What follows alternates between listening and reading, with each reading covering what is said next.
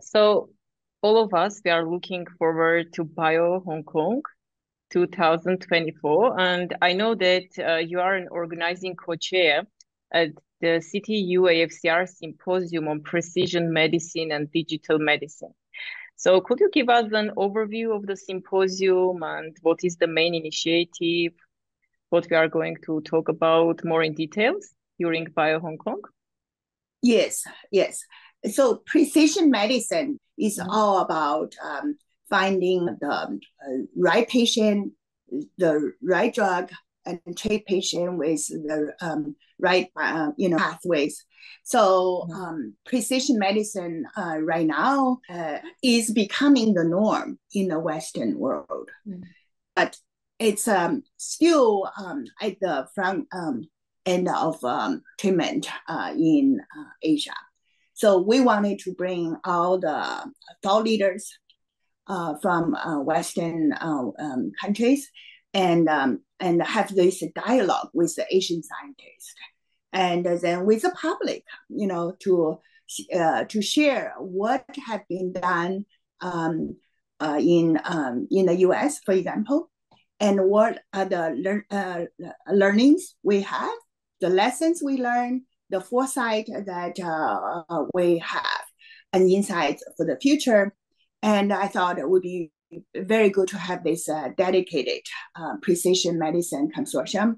And we also realized that precision medicine now really needed to be coupled with digital and AI approach. Mm-hmm. So this is the first time we actually put together precision medicine and digital medicine together. So we are hoping to promote more interactive uh, dialogues and uh, inject some new thinkings and um, um, and um, uh, promote some uh, um, collaboration.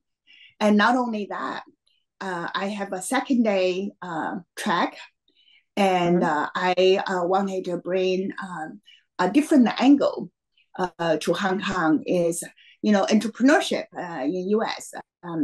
Um, from the scientists, uh, from the scientific um, uh, community have been have been very uh, successful right? since the 1970s in the U.S. Uh, and the uh, scientists have been um, very actively involved in building, you know, in translating their discoveries and building successful mm-hmm. uh, biotech companies. So I had this um, very brilliant, famous two scientists from uh, Harvard uh, and from uh, uh, um, Colorado, and Dr.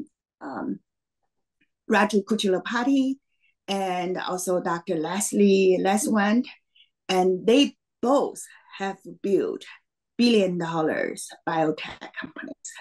So I asked them to share their learning, uh, you know, building uh, the billion dollar companies from their innovation from their research, what they have learned, what insights they can share. And so they can share with the young generation of the scientists or entrepreneurs and, and how to uh, really go about this uh, from research to entrepreneurship. So I hope uh, you will join us.